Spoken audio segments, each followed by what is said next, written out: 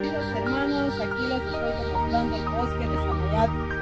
Aquí es el bosque donde nosotros entramos todos los días a hacer nuestros trabajos de los pacientes, limpias, protecciones, abundancias, amarres, lo que ustedes necesiten de todo el trabajo que ustedes quieran, aquí lo realizamos en este gran bosque.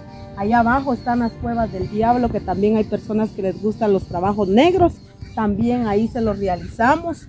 Aquí le hacemos todo tipo de trabajo que usted necesite para poder sacarlos adelante, que ustedes salgan de, de todo, todas sus penas que ustedes tienen.